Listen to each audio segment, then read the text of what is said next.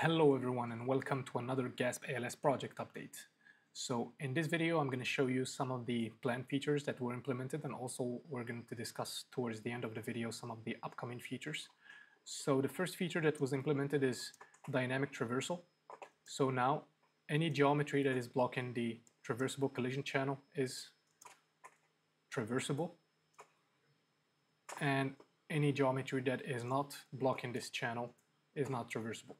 Also, there's a limit to the rotation angle. So these ones, for example, are not traversable, but these ones, they're working just fine. Um, this is courtesy of Mr. Tapa on Twitter that uh, made this and also showed uh, on a X thread or Twitter thread how to do it. So here we have this component that is doing dynamic tracing. We can activate the debug and we can see how this works. So I will link the uh, Twitter X thread uh, in the description if you guys want to understand how this is done.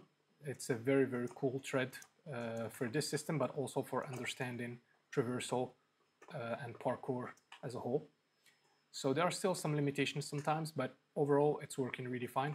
And the previous blocks were also working, of course, because this is basically not uh, different from what we had before. It's just that it's doing the tracing dynamically. Uh, it doesn't matter what geometry we're in. So the second feature that we're going to discuss uh, is one of the most requested features, and that is ragdoll.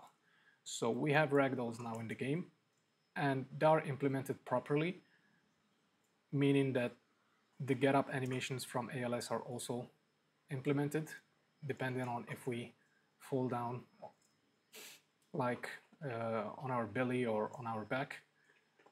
It's also working in all the weird conditions. I made sure that they are like always behaving correctly.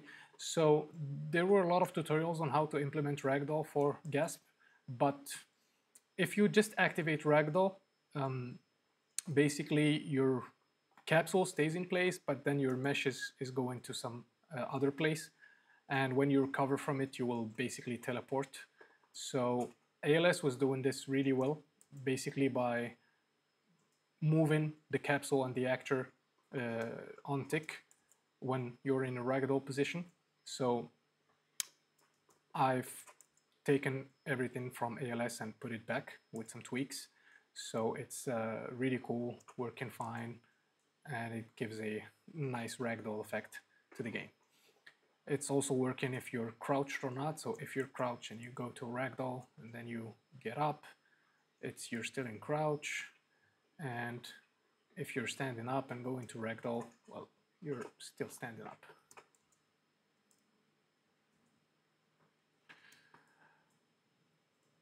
Uh, on the road to get in here, like I had some really, really weird bugs that I will put on the video, so just for the fun.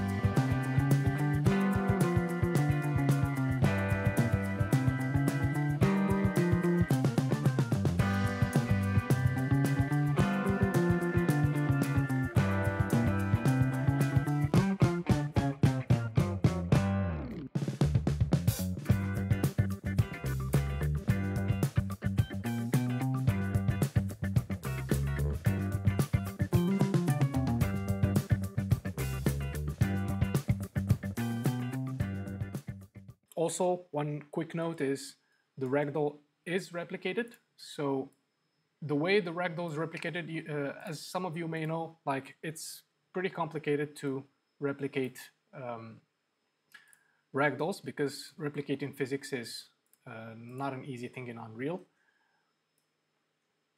The way the ragdoll is replicated is basically uh, once the ragdoll is triggered, it is plain on both the client and the server. Uh, so it can look different from client and server. But then when you recover from the ragdoll, like it's using the client position so that the, the you don't teleport. So this could be a bit cheatable, uh, but it is working fine. So as you see here, uh, I'm teleported um, to where the, uh, the position of the owning client was.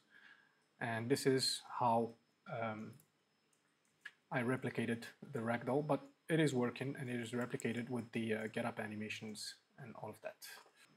There were uh, some uh, issues with the transitions. For example, when we were going to crouch and standing up with the overlays, there were some snapping, but those were fixed as well. And there were some issues when, like after the uh, traversal montages, the uh, hand IK was acting a bit finicky. That's also fixed. All right.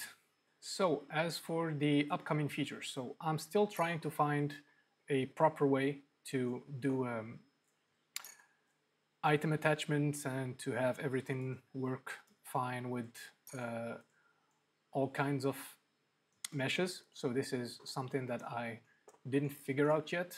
I'm trying to find like a proper position. I know that a lot of you guys also asked for um, a tutorial on how to do, for example, sword with, with attack animations. I'm going to get to that, but in order to get to that, I want to fix this um, issue, the attachment issue and the hand offsets, so that that tutorial is actually up to date with everything.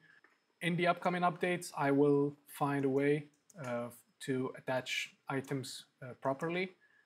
And also I will be making a tutorial on how to do a sword with animations. That's not going to be very complicated to do.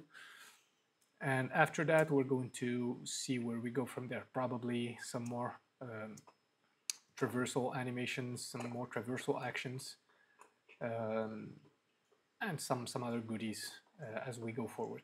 Uh, I also want to work a little bit on the camera. So um, there is a, uh, um, a person on YouTube that contacted me and sent me a more dynamic camera with basically shoulder switching. I will implement that and I want to do also first person. So we'll have first person and we'll have a more complete third person camera.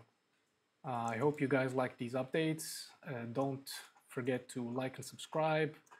Um, don't forget to share these with your friends. So I've been working on this for quite some time now. Um, if you want to collaborate, if you want to participate to the project, you can do pull requests on, uh, on GitHub. So yeah, that's it for this update. Uh, if you guys have any questions, don't hesitate to post them in the comment. As always, I try to answer each and every single comment. Um, if you have any requests, you can send them. I don't promise anything, but I will try to do my best. And uh, as always, thank you guys for watching. Please like and subscribe and see you guys in the next video.